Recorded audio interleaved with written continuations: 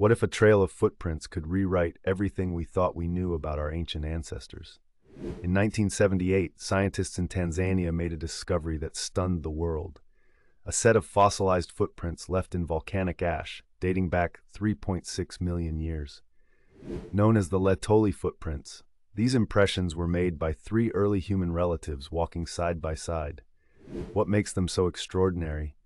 The footprints clearly show a human-like stride, with a pronounced arch and forward-pointing big toe, providing the earliest direct evidence of upright walking in our lineage.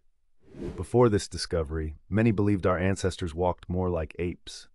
But the Laetoli footprints revealed that even millions of years ago, our forebears were already striding confidently on two legs. This single set of tracks forever changed the story of how and when bipedalism evolved. Imagine ancient beings walking across a landscape so different from ours, yet leaving behind a mark that would speak to us across eons. If you're open to hearing more, please like and follow for more history retold. Like, comment, share, and follow for more amazing discoveries.